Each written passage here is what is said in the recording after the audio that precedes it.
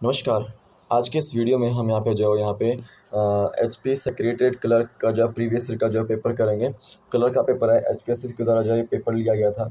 तो आप इसको देखेगा ये आपका जो कोड नंबर चार सौ चौंतीस यहाँ पे दिया हुआ है, दो हज़ार अठारह में पेपर हुआ था, सीरीज़ ए है उसकी ये।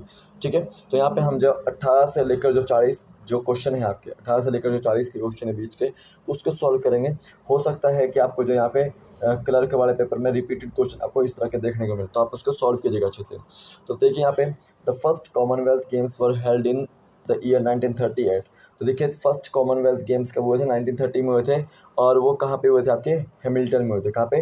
हेमिल्टन में तो डी ऑप्शन बिल्कुल राइट आंसर है। नेक्स्ट देखिए Durand cup is associated with which game तो फिर ड्यूरेंट कप आपका जो किससे संबंधित है, वो फुटबॉल से संबंधित है। सी ऑप्शन बिल्कुल राइट आंसर है। एशिया का सबसे पुराना जो कप होता है, वो आपका ड्यूरेंट कप है फुटबॉल का। फीफा जो 2018 का जो कप था, वो कहाँ हुआ था? आपका रशिया में होता। कहाँ पे होता? रशिया में होता। और इसको जीता था फ्रांस ने क्रोएशिया को हराकर, ठीक है? क्रोएशिया को हराकर। और देखिए, जो फीफा 2022 होगा, वो आपका कहाँ होगा? वो कतर में होगा, दोहा में। ठीक है, कतर में होगा वो। ठीक है, अब देखिए यहाँ पे ए ऑप्शन बिल्कुल राइट आंसर था। यूनाइटेड नेशन जो डे है, वो सेलिब्रेट किया जाता है आपका 24 अक्टूबर को। कब किया जाता है? 24 अक्टूबर को। तो ए ऑप्शन बिल्कुल राइट आंसर है। नेक्स्ट देखिए first Indian Arctic expedition was held in the launch in the year जो प्रथम भारतीय आर्कटिक अभियान जो था, वो 2007 में लॉन्च किया गया था, अगस्त 2007 में। फ़र्स्ट वीक ऑफ़ अगस्त 2007 में। देखिए जो नोबल प्राइज़ जो डिस्ट्रीब्यूट किए जाते हैं और स्टॉक होम में जो किया जाता है स्टॉक होम में किया जाता है तो बी ऑप्शन बिल्कुल राइट आंसर है। तो प्लीज़ लाइक कीजिएगा वीडियो को शेयर कीजिएगा वीडियो को और सब्सक्राइब कीजिएगा चैनल को अगर आप नए हैं। ठीक है? एंड टेलीग्राम को ज्वाइन कीजिएगा लिंक उसके डिस्क्रिप्शन बॉक्स में वहाँ से ज्वाइन कर सकते हैं। तो वहाँ पर आपको जाओ सारे के सारे जाओ क्वेश्चन पेपर क्लैरिकल के आपको मिल जाएँगे तो आप उसको ज़रूर देखिएगा, ज़रूर अच्छे से पढ़िएगा। ठीक है?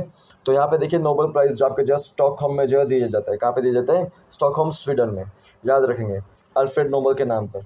देखिए चौबीसवा question which one of the following is a peace time gallantry award तो इनमें से कौन सा जवाब पीस टाइम जो गैलेंट्री अवार्ड है। तो यहाँ याद रखेंगे कि जो आपका शौर्य चक्र, वीर चक्र परमवीर चक्र, वैसे ये सारे के सारे गैलेंट्री अवार्ड ही हैं। लेकिन यहाँ पे अशोक चक्र, वीर कीर्ति चक्र और वीर चक्र। वीर चक्र मैं यहाँ पे मान सकता हूँ कि आपका जो गैलेंट्री अवार्ड है। तो इसको एक बार चेक कीजिएगा ज़रूर। ठीक है? याद रखना है। बी ऑप्शन मेरे हिसाब से यहाँ पे आंसर है। अब देखिए विंग्स ऑफ़ फायर किसके द्वारा लिखी गई है? विंग्स ऑफ़ फायर लिखी गई है आपका ए पी जे अब्दुल कलाम जी द्वारा। किसके द्वारा? ए पी जे अब्दुल कलाम जी के द्वारा जो लिखी गई है। याद रखेंगे। तो अशोक चक्र आपका जब पीस टाइम गैलेंट्री अवार्ड है। तो विंग्स ऑफ़ फायर आपका ए पी जे अब्दुल कलाम जो द्वारा लिखी गई है। तो सी ऑप्शन बिल्कुल राइट आंसर है। नेक्स्ट देखिए who directed the world famous film the Gandhi. जो द गांधी की मूवी है, वो किसके द्वारा डायरेक्ट की गई थी? तो 1962 में के आसपास से डायरेक्ट की गई थी रिचर्ड एटनबरो द्वारा। Richard Attenborough. तो काफ़ी अच्छी मूवी है, इसको देखिएगा ज़रूर। काफ़ी आपको एग्ज़ाम्स में जो आपको देखने को मिलते हैं, यहाँ से क्वेश्चन आपको काफ़ी कुछ सीखने को मिलेगा। तो डी ऑप्शन बिल्कुल राइट आंसर यहाँ पे। आपका जो इंटरनेशनल कोर्ट ऑफ़ जस्टिस है आई का जो हेडक्वार्टर है, वो कहाँ पर है? तो आपका वो नीदरलैंड के हैग में है तो बी ऑप्शन बिल्कुल राइट आंसर है। नेक्स्ट देखिए, सार्क जो सेक्रेटेड है उसका जो मुख्यालय कहाँ पर है? सार्क जो सेक्रेटेड है वो कहाँ पर है? और काठमांडू में कहाँ पे? आपका नेपाल के काठमांडू में। नेक्स्ट देखिए न्यूक्लियर प्रोलिफ्रेशन जो ट्रीटी है, जो कब हुई थी आपकी साइन? वो आपकी जो नाइनटीन सेवेंटी में जो आपकी फोर्स में हुई थी। फोर्स आई थी। ठीक है? फोर्स हुई थी। बी ऑप्शन बिल्कुल राइट आंसर है।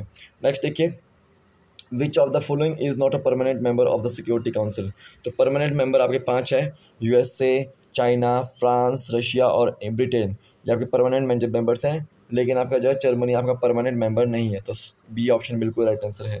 नेक्स्ट देखिए which American president was famous film TV star before he became the president कौन से जो इनमें से अमेरिकन प्रेसिडेंट ऐसे हैं जो प्रेसिडेंट बनने से पहले एक फ़ेमस फ़िल्म टीवी स्टार थे। तो रोनाल्ड रेगन जो वो थे। बी ऑप्शन बिल्कुल राइट आंसर है। नेक्स्ट देखिए who is known as Indian Bismarck Indian Bismarck में जो को किसे कहा जाता है जाता है? तो याद रखना है आपको, सरदार वल्लभ भाई पटेल। तो बी ऑप्शन बिल्कुल राइट आंसर है। नेक्स्ट देखिए who amongst the following is the famous sarod player इनमें से जो कौन जो फ़ेमस सरोद प्लेयर है। तो याद रखना है अमजद अली खान जो आपके फ़ेमस सरोद जो वादक हैं। सी ऑप्शन बिल्कुल राइट आंसर है। The title of sparrow is given to जो टाइटल ऑफ़ स्पैरो था वो किसको दिया गया था? वो आपका मेजर जनरल राजेंद्र सिंह को भी दिया गया था। तो सी ऑप्शन बिल्कुल राइट आंसर है। नेक्स्ट देखिए the local name of Mohenjodaro Mohenjodaro का लोकल नेम क्या था? मृतकों का टिल्ला।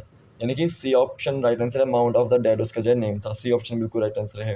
नेक्स्ट देखिए which was the first capital of Magadh Magadha की पहली कैपिटल क्या थी? वो थी आपकी राजगृह। क्या थी? राजगृह थी। ठीक है? राजगृह। अब यहाँ पे जो राजगृह मेरे को कहीं दिख नहीं रहा है तो हो सकता है कि पाटलिपुत्र भी हो सकता है। ठीक है? लेकिन यहाँ पे जो राजगृह आपकी जो कैपिटल थी मगध की सबसे पहली। ध्यान दे सकते हैं आप इस पर ठीक है? नेक्स्ट देखिए। In which state was the Nalanda university located in India तो नालंदा यूनिवर्सिटी किस जो आपके जो स्टेट में तो वो आपके बिहार में है। कहाँ पे? बिहार में। तो बी ऑप्शन बिल्कुल राइट आंसर है। नेक्स्ट देखिए Kautilya's Arthashastra deals with the aspects of political policies के जो आपके आ, उसमें आते हैं कौटिल्य के अर्थशास्त्र में। तो राजनीतिक नीतियों के लिए जो जाना जाता है वो तो बी ऑप्शन बिल्कुल राइट आंसर है। जो आपकी बुद्धिस्ट काउंसिल थी आपकी कनिष्क के समय पर वो कहाँ पर हुई थी? तो कनिष्क के समय पे जो आपकी जो चौथी बुद्धिस्ट काउंसिल हुई थी, वो आपकी कुंडलवन कश्मीर में हुई थी। कहाँ पे हुई थी? कुंडलवन कश्मीर में हुई थी। तो बी ऑप्शन बिल्कुल राइट आंसर है यहाँ पे। नेक्स्ट देखिए। मिर्च कट्टिका वॉज़ रिटर्न बाय तो मिर्च कट्टिका जो आपका क्षुद्र का जो जय द्वारा जो लिखी गई थी तो बी ऑप्शन बिल्कुल राइट आंसर है। तो ये थे आज आपके जो एटीन से लेकर जो फोर्टी तक के जो क्वेश्चंस तो ये क्वेश्चन पेपर आपको मैं टेलीग्राम पे दे दूँगा तो अभी आपके लिए जो आप इन क्वेश्चनों को सॉल्व कीजिएगा।